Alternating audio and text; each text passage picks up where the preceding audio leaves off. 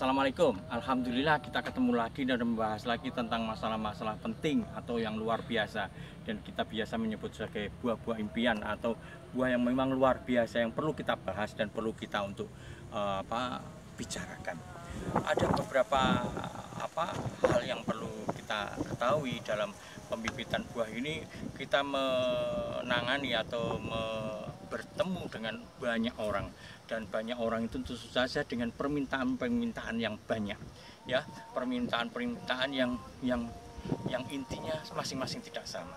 Ada orang yang sesuai dengan kita artinya mereka dari bibit yang kecil dulu misalnya ukuran 50 70 gitu.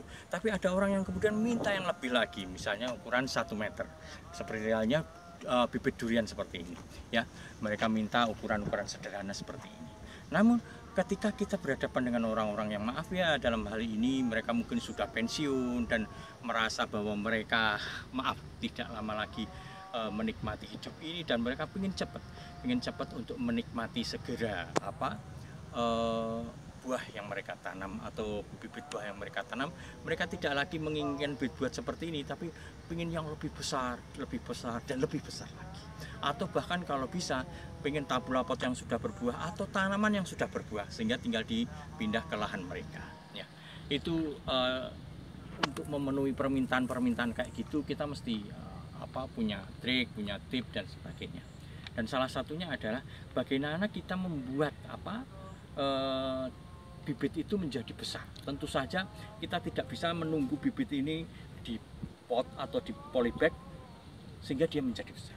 Tapi ada yang namanya dinamakan ibuan yaitu e, bibit ditanam di lahan atau di sawah yang yang yang selalu tergenang air atau selalu tersiram air atau memudahkan kita dalam menyirami e, bibit ini yaitu dengan cara ibuan. Ibuan itu seperti ini Anda lihat nah ya e, bisa dilihat ya ini ibuan jadi kita buat uh, semacam gulutan-gulutan di dalam di dalam apa? Di dalam pembibit uh, apa? Lahan yang akan kita ipuk atau lahan yang uh, apa? Bibitnya kita ipuk ya. Dan lihat uh, hasilnya adalah tanaman yang nantinya akan cepat tumbuh cepat uh, apa? Uh, membesar gitu ya. Apalagi dengan cara ini kita intensif atau kita fokus banget untuk memelihara bibit-bibit uh, yang sudah kita fokus atau kita apa ibu ini ya.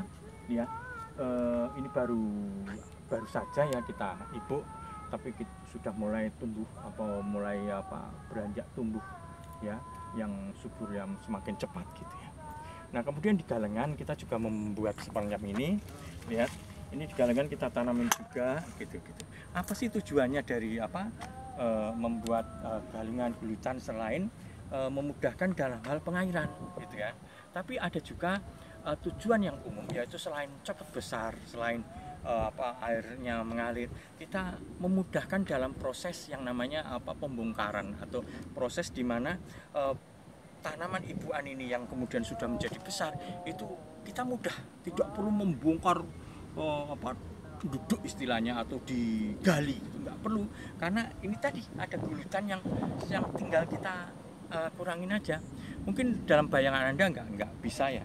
Tapi coba kita lihat ke sana yuk. Yuk kita lihat.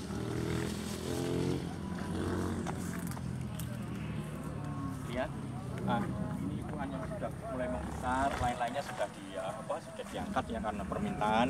Tapi kita mulai apa tanam lagi untuk pengganti atau untuk sil, apa menyiangi ya. Kita lihat yuk nah lihat ini ibuan tadi. Tapi bibit atau tanamannya sudah membesar ya. Ibuan tadi tinggal kita geser-geser ya. Kita bikin nggak seperti tadi tidak apa-apa harus digali gitu nggak nggak perlu sejauh itu. Tapi kita tinggal geser-geser sehingga justru gulutannya akhirnya ada di tengah ya. Mudah sehingga kita terus langsung kita apa bungkus gitu. Kalau kita gali kita kesulitan dalam hal apa? Dalam hal uh, apa membungkus ini kemudian kita harus tali sampai sekencangnya enggak. Kita apalagi ini di sawah ya kita setelah penggalian ini maka kita lakukan yang namanya apa atau membiarkan dia tetap di sini sebelum kita nantinya cabut atau hari hanya sampai. Ya indah sekali kan lihat ya. Nggak perlu kita harus harus angkat ya karena ini memang tanaman sudah gede.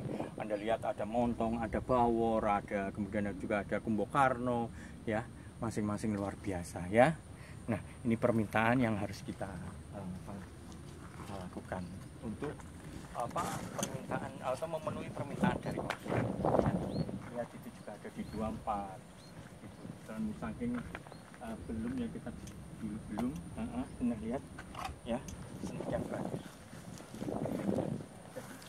sekali gitu. ini belum belum anu, belum kita apa istilahnya duduk apa lepas dan dari apa akar akar tunggalnya. Kita biarkan dulu sampai dia uh, tidak lagi istilahnya stres ya. Kita pastikan bahwa dia subur tumbuh. Nah baru kita angkat pelan-pelan gitu ya. Jadi ini proses yang lama tidak perlu uh, apa tidak perlu susu atau cepat-cepat gitu ya. Apalagi dengan cara gulutan tadi. Dan kalau pelan maka ini hanya dilakukan hanya dalam beberapa hari saja. Tidak perlu harus satu apa satu tanaman hanya beberapa jam yang mengeluarkan karena harus digali. Tapi dengan cara ini mudah. Apalagi lihat kalau mungkin ini banyak air sehingga anda tidak begitu tampak. Kita lihat yang di sini. Ini yang tadi yang di apa di galengan-galengan. Kita tanamin juga. Kita lihat. Lihat ini tampak sekali. Karena tadi uh, tertutup oleh air sehingga anda tidak uh, melihat dengan jelas ya ini tinggal menyingkirkan aja apa galengannya kita singkirkan. Kemudian kita buka terus tutup. Tapi ini jelas ini belum belum apa belum oh, semuanya kita cabut istilahnya ya. Demikian ya.